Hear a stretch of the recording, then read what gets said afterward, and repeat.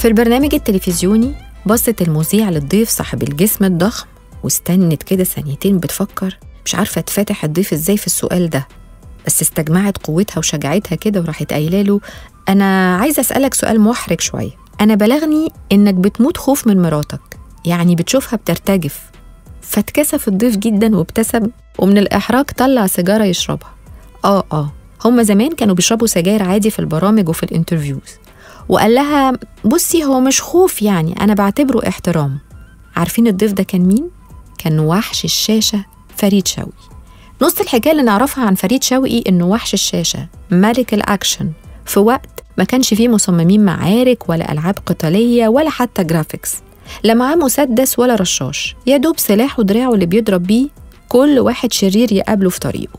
لقبه هو ملك الترسو. ويمكن الترسو كلمة الأجيال الجديدة ما توعاش عليها.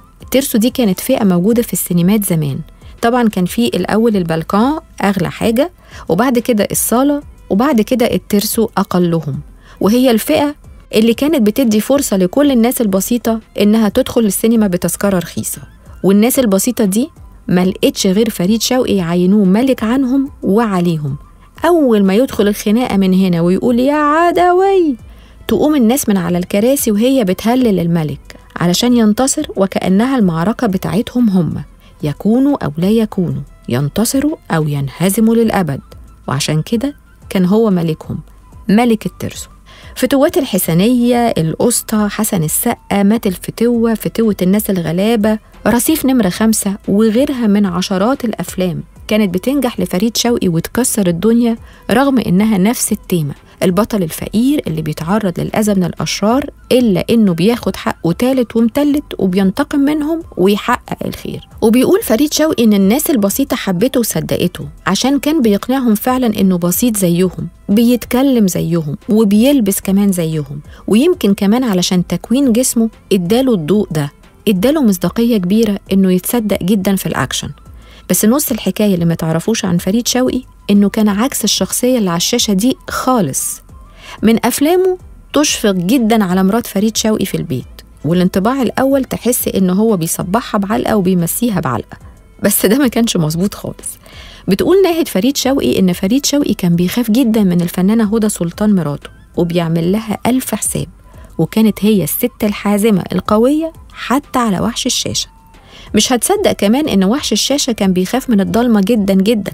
النور لو قطع في البيت بتبقى مصيبة مش بس كده ده كان بيخاف كمان إنه يقعد في البيت لوحده. الوحدة بالنسبة له كابوس مرعب.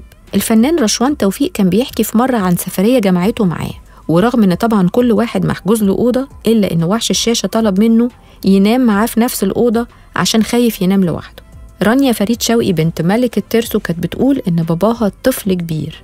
يعني كان بيخاف زيهم من الصراصير والحشرات الزاحفة وبتحكي مرة إن دخل فار بيتهم.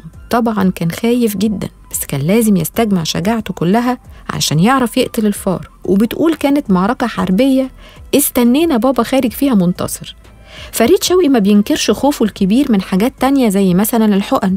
بيقول إنه كان بيترعب من الحقن ودايما كان بيفضل إن هو ياخد أدوية بديلة. بتبقى معاناته بقى لما حد من بناته يجي لها دور برد مثلا والمفروض إن هي تاخد حقن. والمفروض إنه عليه إن هو يقنعها وهو نفسه خايف أكتر منها فبيبقى ساعات مش عارف يعمل إيه. فريد شوقي في الحقيقة كان شخص حساس جدا. يعني لو بنت من بناته تعبت بأقل حاجة كان كفيل إن هو يخليه يقعد يعيط جنبها من تأثره. كان أي مشهد مؤذي عابر بيقابله ممكن يفضل مؤثر في نفسيته الأسابيع.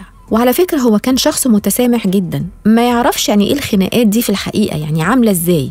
وبيحكي فريد شوقي عن واقعة حصلت له هو شخصيا. لما كان قاعد في مطعم وعدت ست مع جوزها وأول ما شافته راحت قايلة لجوزها الحق ده فريد شوقي أهو. فالراجل بص لفريد شوقي وقال طز. ففريد شوقي يعني ابتسم كده بكل ذوق وقال له شكرا يا سيدي كتر خيرك. فالراجل ساق فيها أكتر وقال له أنت ولا حاجة على فكرة. فطبعا فريد شوقي بكل احترام قال له يا سيدي شكرا ما حصلش حاجة مفيش مشكلة ده رأيك. راح باصص الراجل لمراته وقايل لها إيه يعني فريد شوقي اللي قلبه دماغنا عليه؟ فبرضه فريد شوقي بص له كده قال له يا سيدي وجهة نظرك وأنت حر فيها شكرا. وفضل الراجل مستغل طيبة فريد شوقي الكبيرة ويشتم فيه لمدة خمس دقايق لحد بقى ما إيه وحش الشاشة بقى زهق وقام من مكانه. هنا الراجل اتنفض الحقيقة. وقال له آه بص حضرتك معلش يعني أنا بس آسف لأن دي مراتي وأنا غيران عليها وكده. وعدى الموضوع عادي. فريد شوقي كان بيقول إن أدواره العنيفة على الشاشة كانت تنفيس للي ما بيعرفش يعمله في الحقيقة وإنه لعب الدور ده وأتقنه لما لقى إن الناس البسيطة محتاجة صوت يعبر عنها.